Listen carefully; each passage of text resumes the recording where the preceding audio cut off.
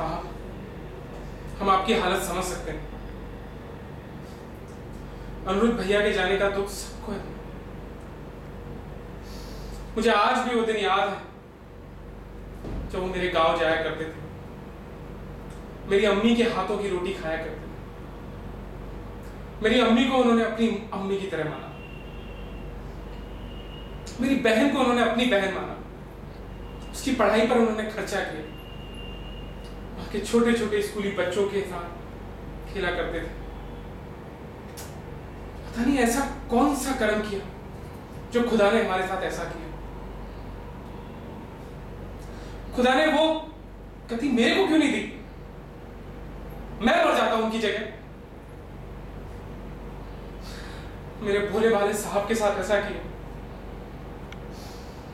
साहब, मेरे दिन रात सिर्फ़ अनुरुद्ध भाई का चेहरा दिखाई देता है साहब और कुछ नहीं। मैंने अपनी अम्मी को इस बारे में कुछ नहीं बताया। अगर मेरी अम्मी को इस बारे में पता चल गया ना